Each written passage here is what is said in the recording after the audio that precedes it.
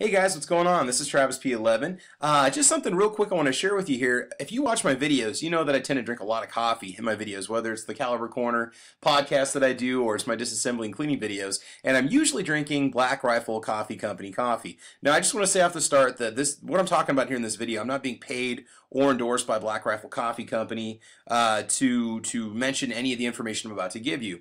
Literally about 15 minutes ago, I got a text message from a family member who was pumped up and excited. They told me that they found Black Rifle Coffee on the shelves of the local grocery store.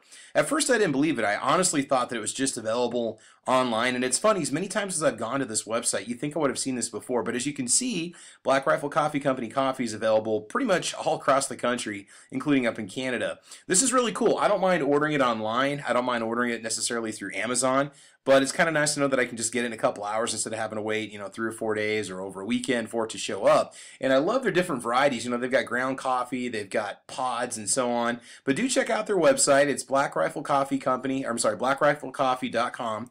And I will put a link for the locator in the description box for this video. And uh, if you don't know anything about the Black Rifle Coffee Company, it is basically veteran owned and operated. Uh, they feature a lot of veterans in their hilarious commercials. Uh, just a really good company that I like to support. Not to mention the fact that they actually make really good coffee. They make all kinds of different roasts, lots of different varieties, K cups and ground. Um, they usually run about fifteen or sixteen dollars a bag, some thirteen dollars a bag.